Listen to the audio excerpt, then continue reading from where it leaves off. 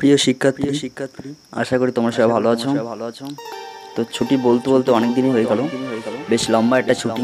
ছুটির মধ্যে আশা করি সবাই পড়াশোনা চালু আছে চালু আছে আজকের ক্লাস টেনে দ্বিতীয় অধ্যায়ে এমসিকিউ নিয়ে আলোচনা হবে।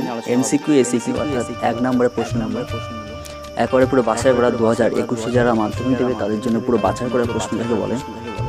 তো চলো দেখা যাক সেই প্রশ্নগুলো। সাথে উত্তর করানো আছে। তোমরা স্ক্রিনশট করতে পারো অথবা খাতায় লিখে নিতে পারো আর তোমাদের প্রতিটা সাজেশন অনুযায়ী টপিকস আলোচনা হবে।